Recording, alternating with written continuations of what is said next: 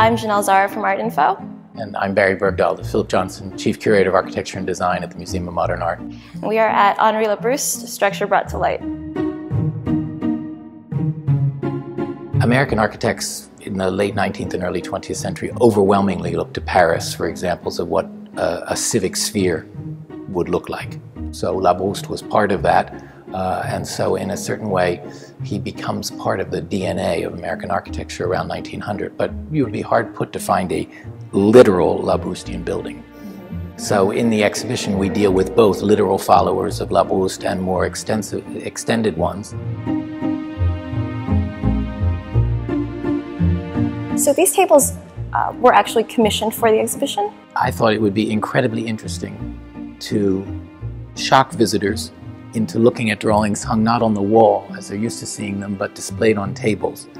And they are uh, inspired by the tables, very abstract in form, that Labrouste designed for the Bibliothèque Sainte-Geneviève, the first of his two libraries. He wanted to create a library that would promote a spirit of contemplation that would, the building itself would be conducive to study.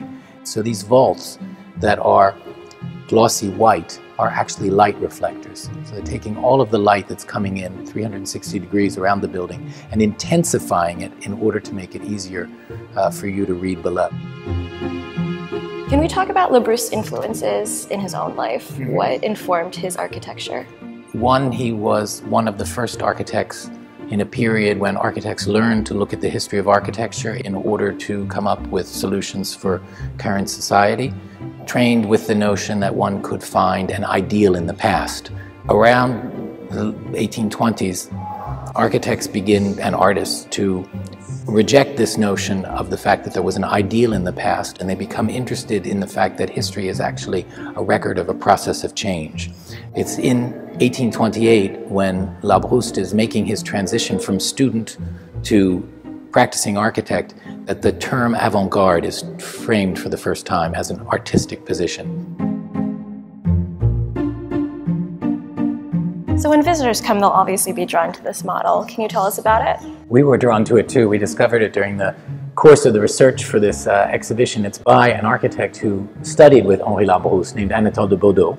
And he was interested in how reinforced concrete could allow for the opening up of absolutely enormous spaces. All of the structure is kept at the very edge of the space, and the, this entire central area is completely free of structure. It represents what we're trying to show in the entire sec final section of the exhibition, the fact that influence can lead to innovation.